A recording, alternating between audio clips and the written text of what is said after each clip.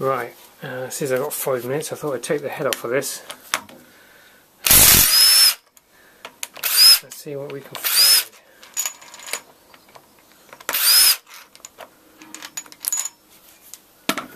We already um, got a lot of water coming out of it.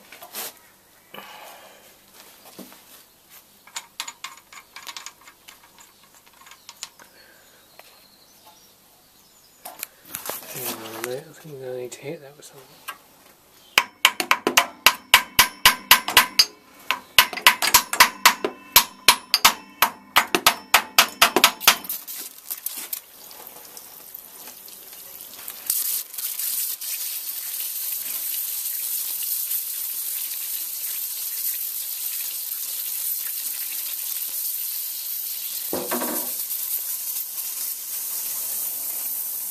That's why you always leave a couple of bolts in there.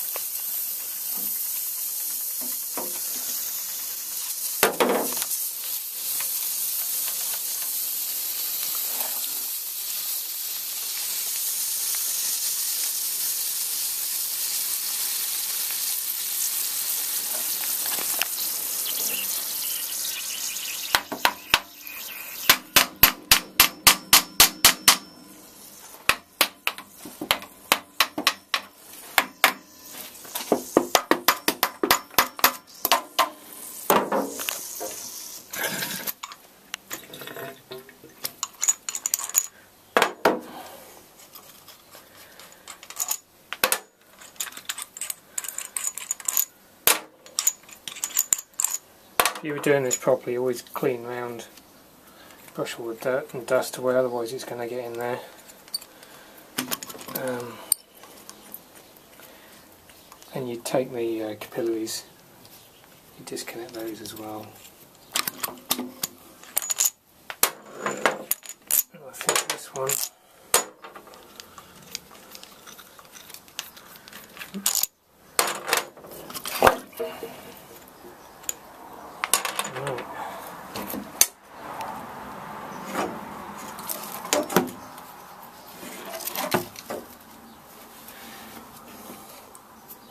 rust in there. Rust on the valves.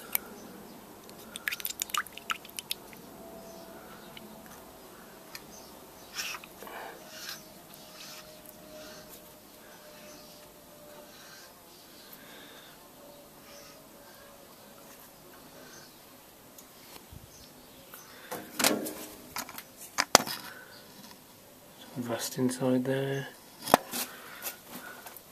full of rust inside the head. Um,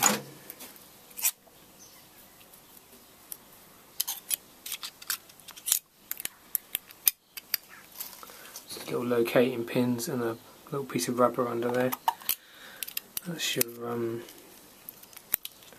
suction valves and then your discharge ones are here. The gas goes through it, pushes them open. And these ones, as the pistons go down, they suck, they get sucked open. As they come back up, the gas pressure, um, yeah, they get sucked open that way, and as the gas pressure comes up, they get, and they're spring loaded too, they snap shut. Uh, let's see if we can get off of there.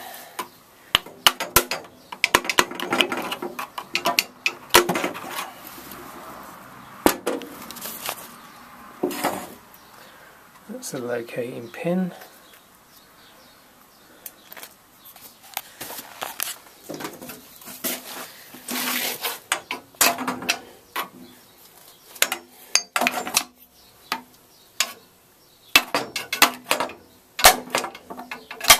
That's got it.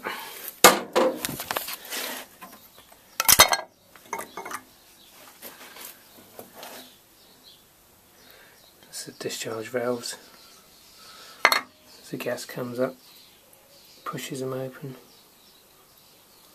That's why the gas goes in through the suction valves.